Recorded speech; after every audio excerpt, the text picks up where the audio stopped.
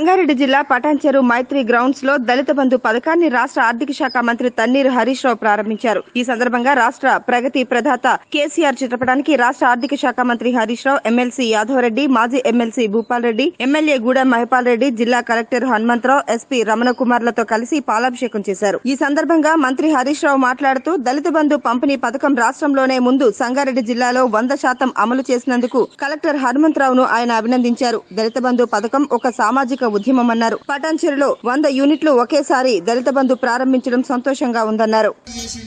ఇవాళ రాష్ట్రంలో ఏ పేదింటి ఆడపిల్ల పెళ్ళి జరిగినా లక్ష నూట పదహారు రూపాయలు ఇచ్చే కార్యక్రమం అన్ని వర్గాలకు కూడా దొరుకుతున్నది. ఇవాళ దళిత బంధు ఎస్సీలతో ప్రారంభమైంది. రేపు ఇది కొంచెం వీళ్ళు ఎందుకంటే అందరికంటే పేదవాళ్ళు దళితులు. అంటరానితనాన్ని ఎదుర్కొంటున్న వాళ్ళు దళితులు. అందుకే ముందు వాళ్ళతో ముఖ్యమంత్రి గారు స్టార్ట్ చేసింది మిగతా వాళ్ళు మనం బాధపడద్దు. ఎందుకు పడద్దు? ఇవాళ రైతు కింద లాభమైంది. నీళ్ళు కాళేశ్వరం నీళ్ళు వస్తే లాభం అవుతున్నది లేదా ఇంకో స్కీమ్లో లాభమవుతున్నది లాభం అవుతున్నది ఇవాళ మా నాయి బ్రాహ్మణులు ఉంటే వాళ్ళకు ఉచిత కరెంట్ ఇచ్చింది. రజకులు ఉంటే వాళ్ళకు ఉచిత కరెంట్ ఇచ్చింది. ఒక్కొక్కరికి ఒక కార్యక్రమం. గొల్ల కురుమల గొర్రెలిచ్చే కార్యక్రమం చేసింది.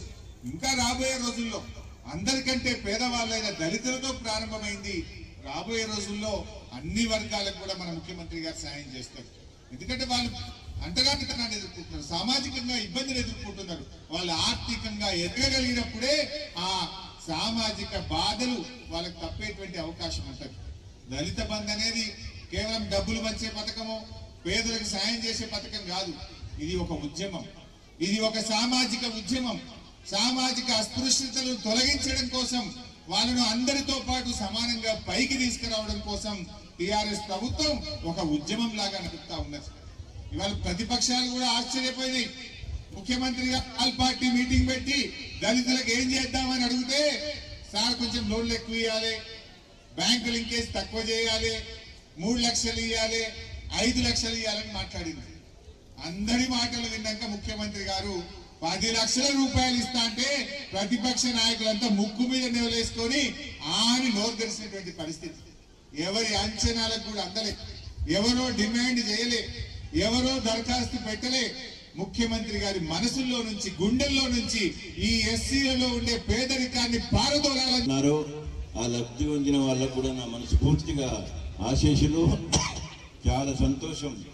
ఈ కార్యక్రమంలో లబ్ధి పొందుతున్న మాట్లాడిన తీరు చూస్తుంటే గౌరవ ముఖ్యమంత్రి గారి ఆశయం ఏదైతుందో నేను సాధిస్తాము ఇచ్చిన పదిని ఇరవై చేస్తాము ముప్పై చేస్తాము కానీ పాడు చేయము మేము పది కుటుంబాన్ని పెంచుకుంటామన్న తీరు మరి మనకు ఎంత సంతోషాన్ని ఇచ్చదో గౌరవ ముఖ్యమంత్రి గారు ఈ పార్టీ అధికారంలో లేనప్పుడు పద్నాలుగు సంవత్సరాలు కలలు కన్నాయన్నీ ఒక్కటొక్కటి ఏమైతే తెలంగాణ బాగైతుంది తెలంగాణ బంగారు తెలంగాణ ఎట్లయితుందనే ఆలోచనలో ముఖ్యంగా కరెంటు కావాలి నీళ్ళు కావాలి ఆ తర్వాత పేదవాళ్ళ కళ్ళల్లో సుఖం చూడాలి అనే సంకల్పంతో తీసుకున్న ఇన్ని కార్యక్రమాలు ఏవైతున్నాయో కార్యక్రమాలు తీసుకోవడం ఒక పెద్ద ఎత్తు.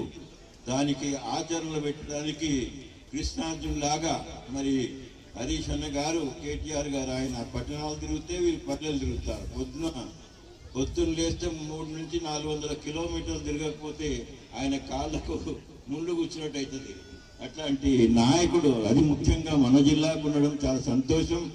ఏది ఏమైనా ప్రతి వాడు బాగా కావాలి ప్రతి వాడు సంతోషపడాలి ప్రతి మనిషిలో సుఖం చూడాలని వాళ్ళ ఆలోచన ఏదైతుందో మెల్లిమెల్లిగా మెల్లిమెల్లిగా సగానికి వచ్చింది ప్రపంచంలో ఎక్కడ లేని విధంగా ప్రపంచంలో మేము కూడా ఇరవై సంవత్సరాల సంది రాజకీయాలలో ఉన్నాం. SC corporation BC corporation minority కార్పొరేషన్ల గిట్ట ఎంపీటీసీగా మండల ప్రెసిడెంట్గా ఉండి తిరిగి తిరిగి ఒక యాభై వేల రూపాయలు ఇచ్చిన దాఖలా గిట్ట కనబడి తక్కువ.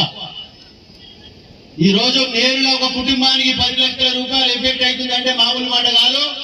ఈ రోజు వంద మందికి పది కోట్ల రూపాయల స్కీమ్ ఇది. ఈ రోజు పది కోట్ల రూపాయల ప్రోగ్రామ్ ఇది. పది కోట్ల రూపాయల ప్రోగ్రామ్ ఇది ఒక్కరోజు. ఇది ఆశామాషి కాదు వారందరూ చక్కగా బుద్ధిగా ఈ పది లక్షల రూపాయలు సద్వినియోగం చేసుకొని ఎక్కడ మిస్యూజ్ కాకుండా కుటుంబ సభ్యులందరూ ఎప్పటికప్పుడు చర్చించుకొని మీకు ఇచ్చిన యూనిట్ చక్కగా నడుపుకుంటే పదికి పదిహేను లక్షలు ఇరవై లక్షలు చేసుకొని మీ కుటుంబం మీ పిల్లలు మీ పిల్లలందరినీ చక్కగా చదివిపించుకొని మీరు మీ సంసారాన్ని సగతి చక్కదిద్దుకోవడానికి మంచి అవకాశం అని ఈ అవకాశాన్ని సద్వినియోగం చేసుకోవాలని చెప్పి మీ అందరినీ కోరుతా ఉన్న సోదరులారా. కాబట్టి దయచేసి ఇప్పుడు మన లబ్ధిదారులతోటి ముగ్గురు లబ్ధిదారులు ఉన్నారు వాళ్ళు. ఆ లబ్ధిదారులు మాట్లాడించే బదులు ఈ మూడు గ్రామాలకు సంబంధించిన యూనిట్లకు వాళ్ళు ఎంత స్ట్రెంత్ ఉందో వాళ్ళందరూ చదివి నేపథ్యంగా చదివి